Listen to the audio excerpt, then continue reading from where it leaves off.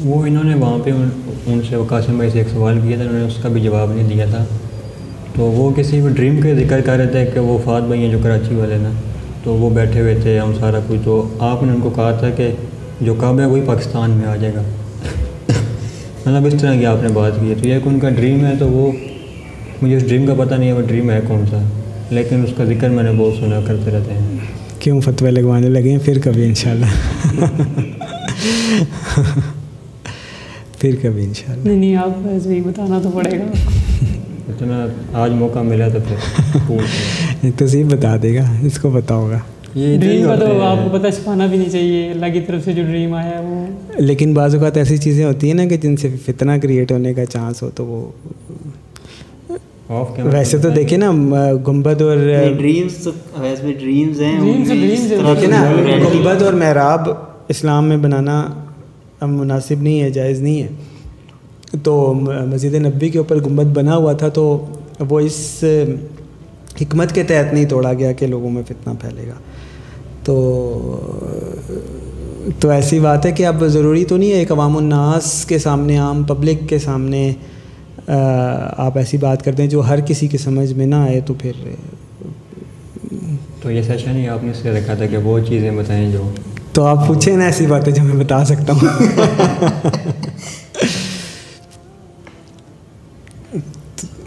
फिर।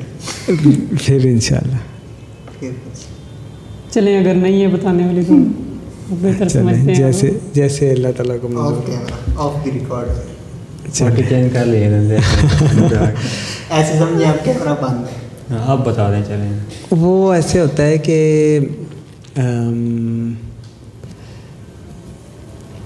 कासिम भाई ख्वाब में देखते हैं कि उनके घर के करीब ही ना एक जगह पे, ज़्यादा दूर नहीं, बस उनके घर से कुछ सौ मीटर पे, सौ मीटर पे नहीं, कुछ सौ मीटर होगा रफली वो देखते हैं कि खाना काबा, अल्लाह ताला ने उधर शिफ्ट कर दिया। रियल में वहाँ पे बिल्डिंग्स बनी हुई है कमर्शियल एरिया टाइप है। लेकिन कासिम भाई ड्रीम में ये देखते हैं कि अल्लाह ताला ने खाना काबा वहाँ शिफ्ट कर दिया। तो वो सारी दुनिया के मुसलमान हैरान होते हैं कि ये क्या हुआ खाना? काबा अल्लाह ताला ने उधर शिफ्ट कर दिया। तो लेकिन ये है कि कोई भी उधर आके ना मतलब उधर खाना काबा, इधर आके लाहौर में आके नहीं, उसको एक्सेप्ट नहीं कर रहा होता। तो अल्लाह ताला फिर मुसलमानों की नमाज़ वगैरह कबूल करने से इनकार कर देता है। तो आखिरकार इस तरह जब होता है तो फिर फाइनली इमाम काबा जो है ना, उन्होंने जो देखा है, शेख अब्दुलरहमान असुदैस को देखा है, वो फिर फाइनली एक्सेप्ट कर लेते हैं कि अल्लाह ताला ने तो इबादत कबूल करने से इनकार कर दिया है। तो वो फिर आते हैं इधर, लाहौर में जो खाना काबा होता है, वहाँ वो नमाज़ पढ़ाते हैं या जो भी मामला इस तरह से करते हैं।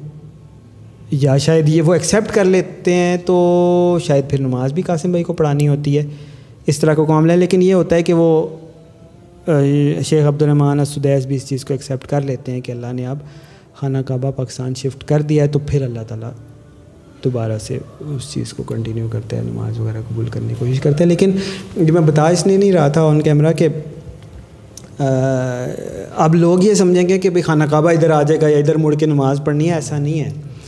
खाना काबा ड्रीम में सिंबॉलिक होता है और इससे मुराद खिलाफत है अल्लाह की यही सोच रहा हाँ, अल्लाह ताला की अल्लाह ताला की रज़ा अल्लाह ताला की तरफ़ से दीन का मरकज़ वो जो है अब वो लाहौर लाहौर होगा इंशाल्लाह।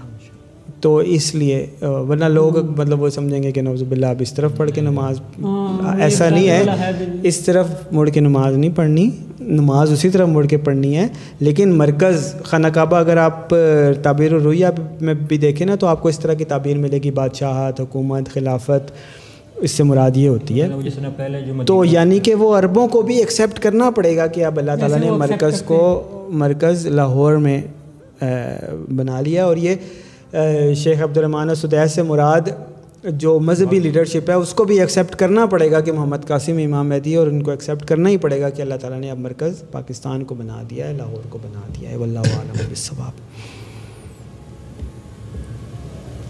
और ये वो ड्रीम था कि जो मेरा ख्याल है कि पब्लिक में बताना।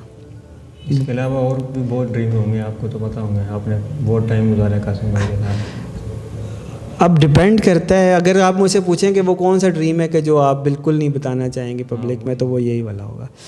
तो बाकी होंगे बहुत अब वो डिपेंड करता है। आपका कोई सवाल जो उन्होंने ना आपको लगा हो कि उसमें और कोई डिटेल है तो आप पूछ सकते हैं।